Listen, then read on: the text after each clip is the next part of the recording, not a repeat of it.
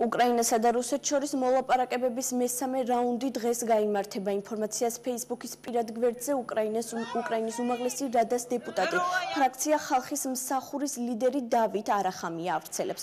შეხვედრის პირველი რაუნდი 28 თებერვალს გაიმართა და 6 საათის განმავლობაში გაგრძელდა, მეორე რაუნდი კი უკრაინა ბელარუსის საზღვარზე 3 მარტს შედგა.